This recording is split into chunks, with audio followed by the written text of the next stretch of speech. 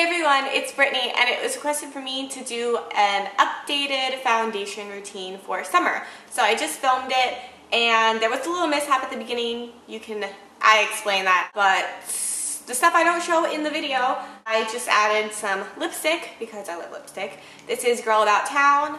And then I put on some eyeliner. I use the Buxom eyeliner in Onyx. And then for mascara, I have Lash Stiletto by Maybelline.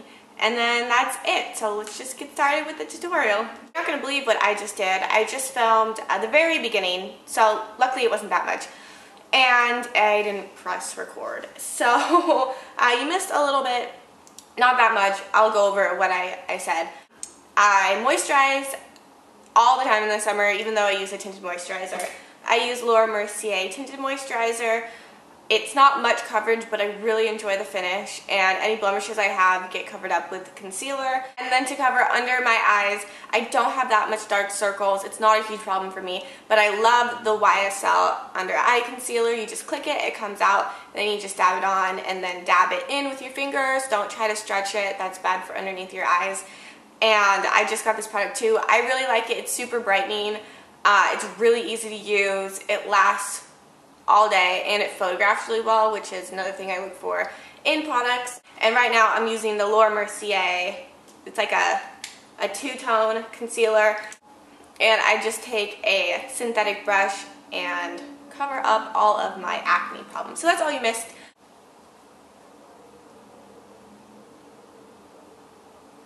I do that, I usually uh, draw in my eyebrows because I actually like setting them with powder.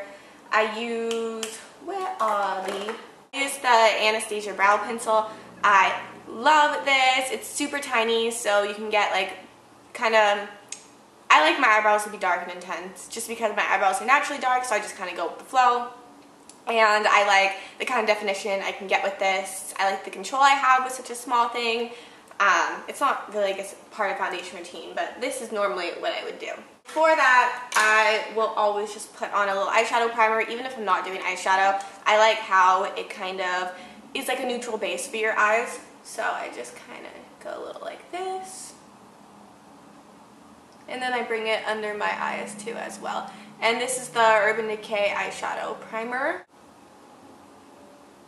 So I do little tiny strokes. And then I start defining the arch. I have like a lot thicker over here and then it kind of dies down a lot over here. Alright, that's about the gist of how I do my eyebrows. Then I like to contour. I am, ooh, the mirror on this is super big, but I, oops, this is the NARS. Um, I think it was a holiday set palette, but it has blushes, contour, highlight. It's a pretty awesome little kit right here. Um, I don't know if they sell it anymore. I dip it in Laguna. You can, I think you can buy all these colors by themselves. So if you like how Laguna looks on me, I actually like using more of a matte bronzer. My matte bronzer broke. This one has some shimmer in it. The shimmer doesn't really pick up, I find, but I wouldn't suggest contouring with a shimmery bronzer. Uh, that, that won't look as good. And you just contour. Just right, like, if you like this, then right there, like right under your cheekbone. You just kind of want to enhance that shadow. Then I like to go a little up, a little to the side. I don't know what my hair is doing right now. And then just right under the chin, I like to do too. For summer, I like using a peachy colored blush, so I'm just going to sweep that on my face.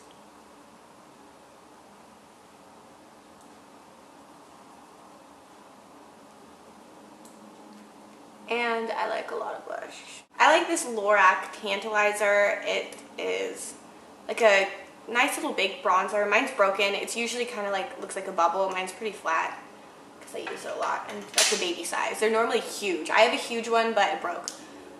I break a lot of things. And then I like to sweep this right over the blush, even though it's kind of like a bronzer. It's more peachy on the skin, at least on my skin tone, and it's really shimmery. I think it looks really pretty. And then I just like to Make Up For Ever. This is just like a setting powder. I think any kind of mica powder, M-I-C-A, I think that's what it's called, powder would work. I think that's just what this is. Um, but I bought this, so I'm going to use it. And it's clear so it doesn't add any more like foundation kind of stuff to you. And then just set it on your sweaty face. So it doesn't give you much coverage, but it gives you a very nice kind of high definition look to your skin. I like to give, you know, it's a nice sheen to me. So I take this, what is it? Benefit Eye Bright. It's like a big pen and it makes it really easy just to draw on the inner corners of your eyes.